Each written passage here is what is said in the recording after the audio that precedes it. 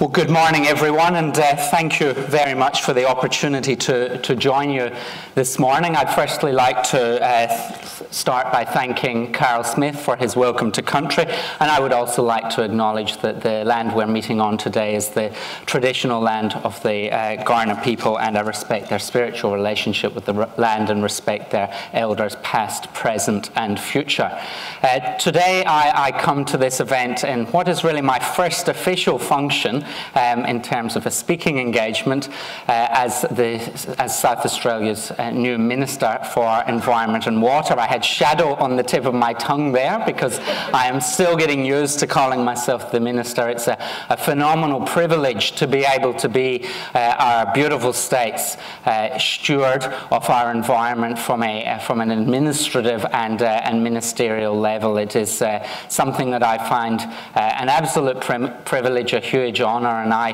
uh, look forward to working with many people in South Australia, particularly uh, in the, the academic and science based community, uh, to leave a, a, legacy for our future generations and, and for those who are enjoying South Australia today uh, in terms of the livability of our environment and the sustainability of our natural environment. We should not and cannot underestimate the um,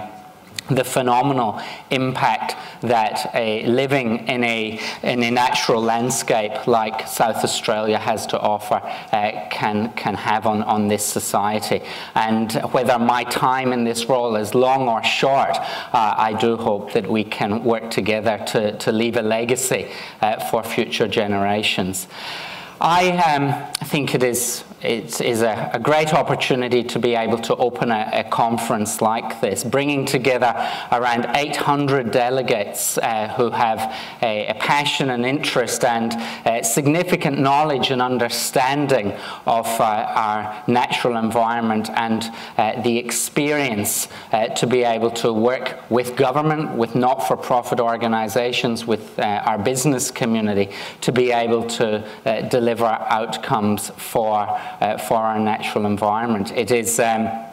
I had the opportunity last night to, to look through the program for, for this uh, next couple of days of events, and I was uh, actually quite uh, disheartened that I wouldn't be able to spend more than just a, a short time this morning with you because uh, my new life doesn't quite give me the flexibility to be able to sit in a conference for, for a few hours. But looking through the program and seeing uh, the sorts of uh, keynote speakers, panelists, and and workshop uh, facilitators and contributors. Uh, I, was, I was jealous at the, the um, caliber uh, of, of speakers that you will get to get to enjoy uh, at the conference over the next couple of days. And, and um, all credit to, to the department that I have the opportunity of working with uh, for organising uh, with, you, with your partner, Sandy, uh, this, um, this great, great event because I, I, looking at that, that timetable, that schedule for the next couple of days, I, I was really encouraged by the number of people who've, uh, who've been brought together to provide content for the conference. I had breakfast this morning with um, uh, with the chief executive of my department, or the acting chief executive, John Schutz, and uh, he told me that uh, there is a, a, lot of energy and excitement around this conference, particularly uh, from the, the, success of the conference two years ago, being able to build on that to have a particularly high quality program of events this time around.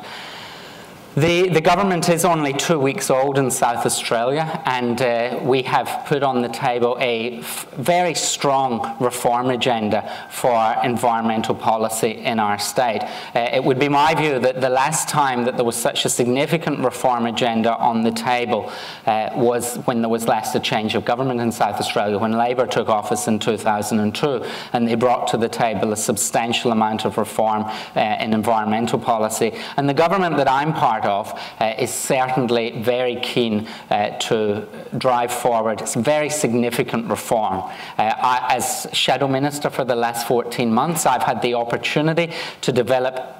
a whole range of uh, policies which uh, were tested in the public uh, public sphere uh, over over the year leading up to the election. Uh, some for a longer period of time, some closer to the the election itself, and. Um, and I am excited to now work with the department and to work with the wider community to implement over the next four years a, a quite ambitious uh, set of environmental policies. We are looking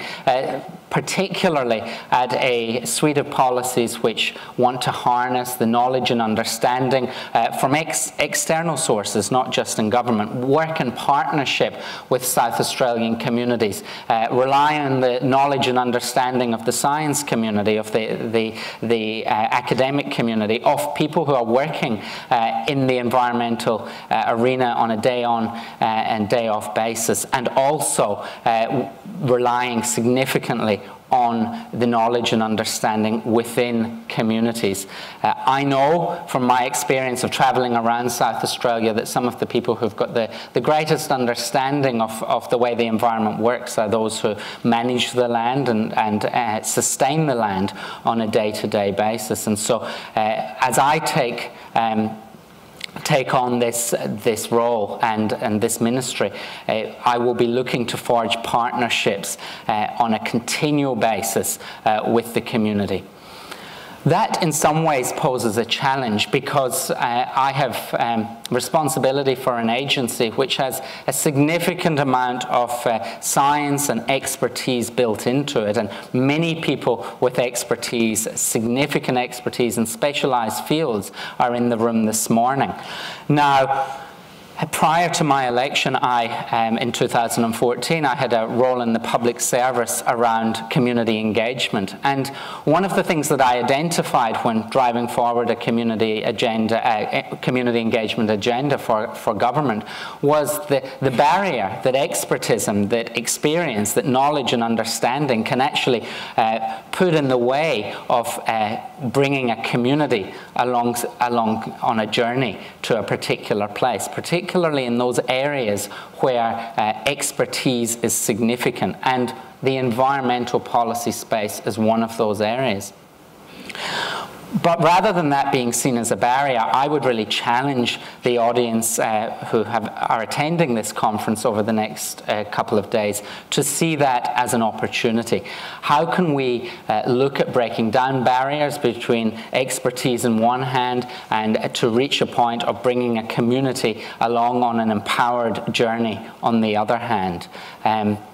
I've looked through the uh, conference uh, uh, speakers and the, the uh, brief synopsis of some of the, uh, the conversations that you're going to be having over the next couple of days. And, and I see that that is something that is addressed on an ongoing basis. Uh, and so I hope that those conversations are had, and, and that can be fed back into the Department of Environment and Water here in South Australia so that we can work um, better at community engagement and can be um, form those partnerships with the, uh, the scientific community and be able to communicate effectively and engage effectively with the broader community to explain why we're taking um, particular decisions and to be open to um, uh, changing our approaches uh, in order to bring that, that community along with us, while staying true to, to science and, um, and respecting uh, that knowledge and understanding that has been built up over many years and decades in, in some circumstances. The, um, the, that challenge uh, is, is something that I, I find um, confronts me on a day-to-day basis as I have to balance the, um, uh, the exercising of my duties as a, as, a, as a minister who has to rely on the advice and experience and, and uh, scientific knowledge of my department, while also dealing with the realities of community expectations, political needs, which are uh, an unfortunate reality of this job at times, and being able to deliver outcomes for South Australian communities uh, from an environmental perspective in a timely and efficient and, and productive way. So I, I, I, I, guess I leave that as a, as a challenge this morning and uh, would love to, to hear your feedback in due course and feel free to get in touch with me if you have ideas and uh, views as to how the agency, uh, the agency that I now have responsibility for can do that better. This morning we have the opportunity to, uh, well, I have the opportunity to launch a, a particularly exciting project, and that is the um, the SA Land Cover Project, which is a new mapping capability measuring change uh, in the landscape over time. And it's a really great example of a, a government department uh, building uh, partnerships and re uh, relationships to, to deliver a project. And I do need to make sure that I refer to my notes to talk about, uh, to make sure I mention exactly who, who was involved in this project, because the, the new SA Land Cover data, data set is a result of a collaboration between the South Australian Government, Geoscience Australia, the Australian Department of the Environment and Energy, uh, the Victorian State Government, and the SA Natural Resource Management Boards. And, and this data set, uh, using, remote using remote sensing data from Geoscience Science Australia's Data Cube, allows us to, for the first time, uh, to sp spatially map changes in land cover, including native vegetation, orchards, vineyards, forestry, urban areas and wetlands over time from 1987 to 2015, so over a space of close to 30 years. And you, this morning you can see images from that uh, this data set uh, being presented uh, on the screen behind me. It is a really great example of, of government taking a, a leadership role uh, around science, uh,